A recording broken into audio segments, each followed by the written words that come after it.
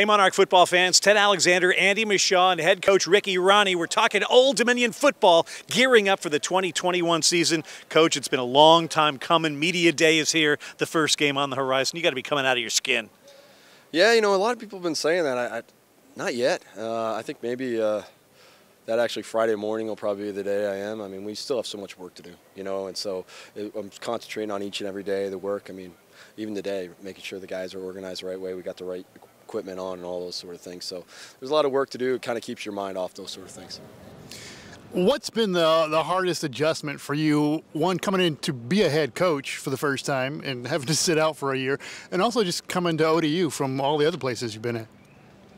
I mean, probably the being the head coach part is the biggest adjustment, based on the fact that I don't do as much football as I used to do. I do a lot of uh, other things. You know, guys, uh, something great happens with a kid. You know, awesome. I get to go tell them something bad happens. I also get to tell them. Uh, you know, maybe a parent calls me here. Um, maybe a kid has a loss of a family member or something like that, and you're dealing with a lot more of those things on a day-to-day basis than you are, you know, academic things and things like that, than you are maybe the football. So, actually, the last three weeks has been glorious because I've dealt with a lot more football. It's been awesome.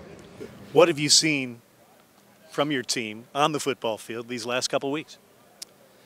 A team that's hungry, a team that's ready to go, a team that is taken to the coaching and, and uh, really focused on their fundamentals, um, and a team that's pretty fast, you know, and, and, and, plays very physical. So I've been I've been excited about that. Really, uh, above all else, is we'll we'll run and we'll hit, you know, and so that that that's a we're going to do, we're going to live on two things, running and hitting aren't two bad ones to live on. So I feel pretty good about that.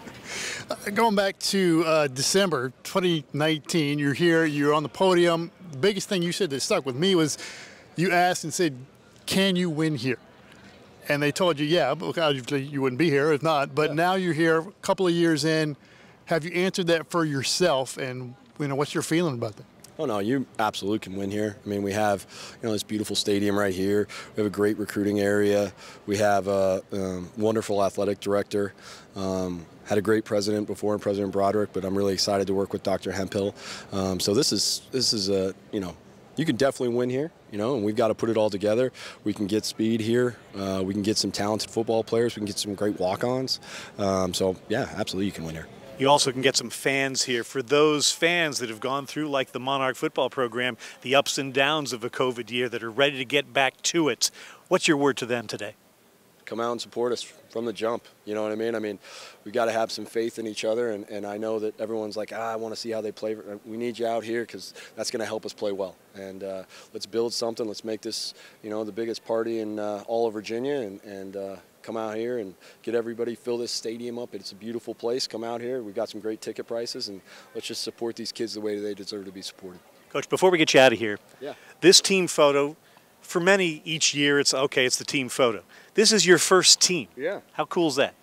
Yeah, it's pretty cool. Um, you know, I'm not going to lie. This is like my least favorite day of the year um, because. no. uh, yeah, you, you, know, it's not because of the media or anything like that. It's you just feel like you have so many other things to be doing, um, and, uh, and and you have to organize the kids and everything. And you, are always telling kids, hey, open your eyes and sit still, quit messing around, you know, and all those sort of things. If you feel like you're you feel like you're dealing with your kids, um, but uh, part of it is you also it's it's another bonding experience with these guys, and they've been great. We've had some great bonding experiences. We did a trivia night last night, which was unbelievable. We got some smart kids. I was shocked.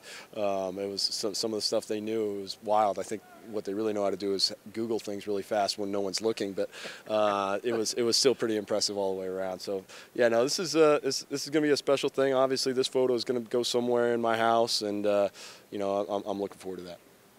Media Day with head coach Ricky Rahne. Monarch football back for 2021.